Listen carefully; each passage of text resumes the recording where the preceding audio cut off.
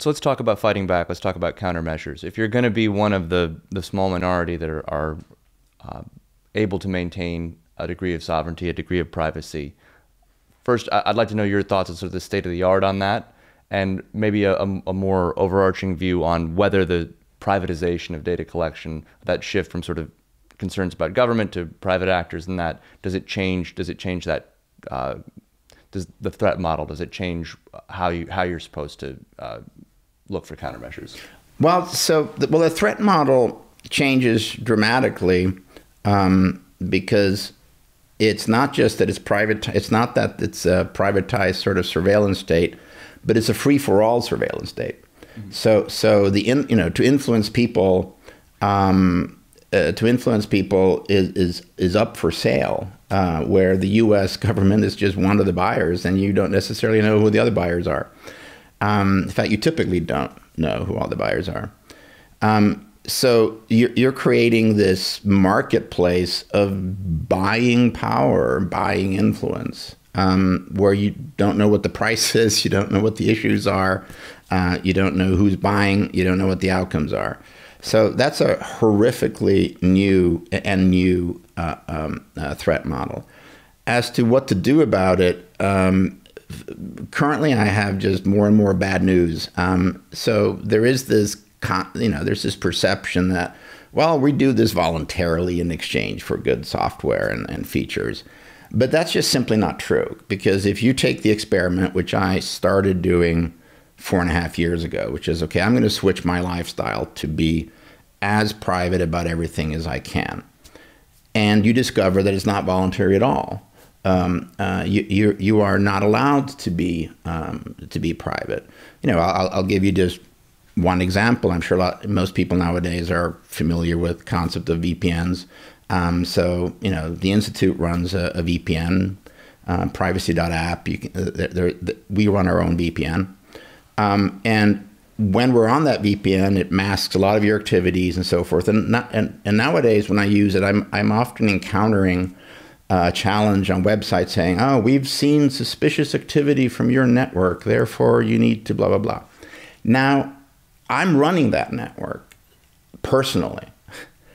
I get I know for a fact that nothing bad has been done on the network because for those for the general audience, what happens is if there's an IP address that's being used for something nefarious, you can go to online databases and you can file a complaint with the registrar. In the U.S., it's it's the American Registrar of Internet Networks, ARIN, um, which is why if you do a who is, if you're technical, you'll get a you know contact here for abuse. Um, the abuse on our on our VPN gets CC'd to my personal inbox. So I know for a fact there's been zero reports of bad behavior ever. Mm-hmm. So they're lying. Like big, you know, Cloudflare is lying. New York Times is lying. They haven't actually found suspicious. They can't figure out exactly who you are. So they're not going to allow you to continue on this website. So the more private you are, um, you know, then they start shutting down, blaming security and abuse, even in the cases where, you know, we can prove it's not the case. Access to public information. Last year we had all these wildfires uh, in the West, and it was important for, you know, people's property to be able to tune in to local information from local sheriff's department. They decided to do it on Facebook, so I have to log in on Facebook uh, um, to get information to protect my life and property. And, and no, it's not voluntary. It's, it's passively tolerated along the lines of how the East Germans passively tolerated communist control for a while because the individual was put in a situation of not being able to do anything about it. So there are a lot of things that can be done. You can enable um, a lot of pri- a lot of privacy features and so forth. But what what the civil sort of disobedience movement that we need doesn't exist, which is that when some website says things like, "Oh, you need to click on this captcha. We need to know that you're a human," people need to, you know, email, write, picket outside of those companies saying, "No, fuck you." Apologies. You don't, you know, I'm not going to click on stuff to prove, you know, to click on a bus or show how many buses there are to prove I'm a prove I'm a human because it's not actually to prove I'm a human. It's about confirming who I am exactly. So I think you hit on the on the heart of the matter, which is the voluntariness of it. It's the fact that you do need to use these these programs. You need to use these this software. You need to use these services.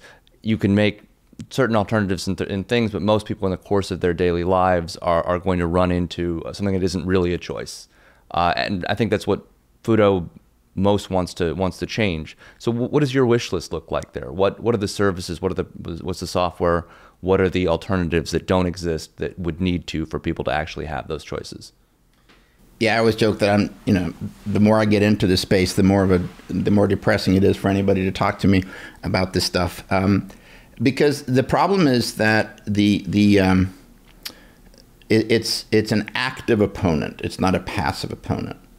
Um, and and by that I mean, you know, if you're you know, if you're developing, uh, you know, in, in healthcare, we know that in health, in health, in medicine, we know the difference, right? So, so breaking your leg because you fell down the stairs, that's a passive medical threat.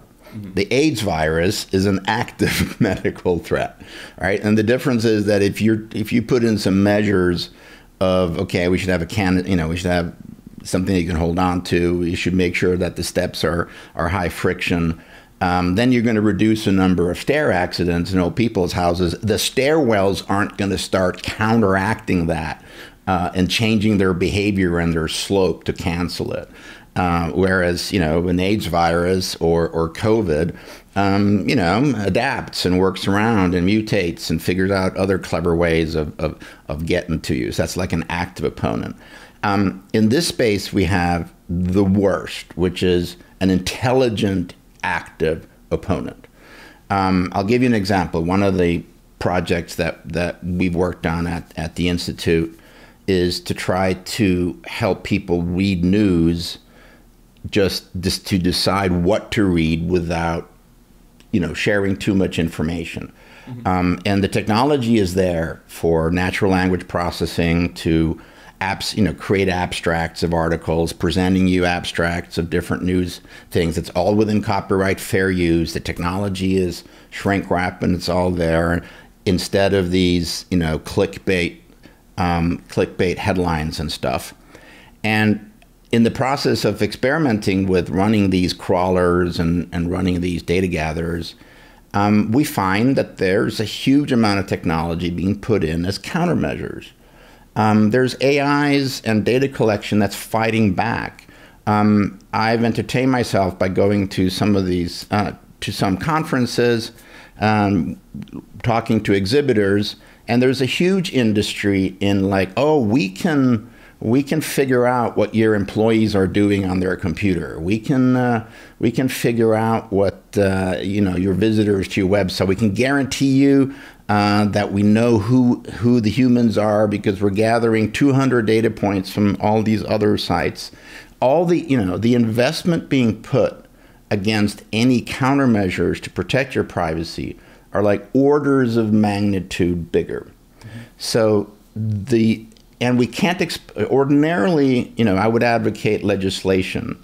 The problem is that the United States is is a bi-party system, and we can debate who who started it, but but currently both parties are completely dependent on the big tech companies for all the three things that are important for a political party which is access to voter turnout, access to funding, and access to media. Mm-hmm. And frighteningly, we've got a small number of tech companies who are inc- increasingly, you know, controlling all of those.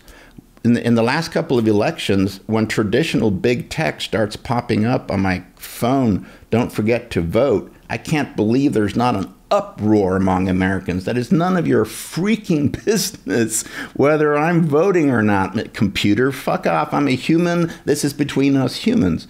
But everyone's just accepting it. Oh, that must be a good thing. It's like, no. Um, you know, they'll, it's, it's controlling all the access between, um, it's, it's interjecting and controlling the decision making of the civil, civilian populace. So, what needs to happen is civil disobedience, civil pushback, uh, not accepting these things.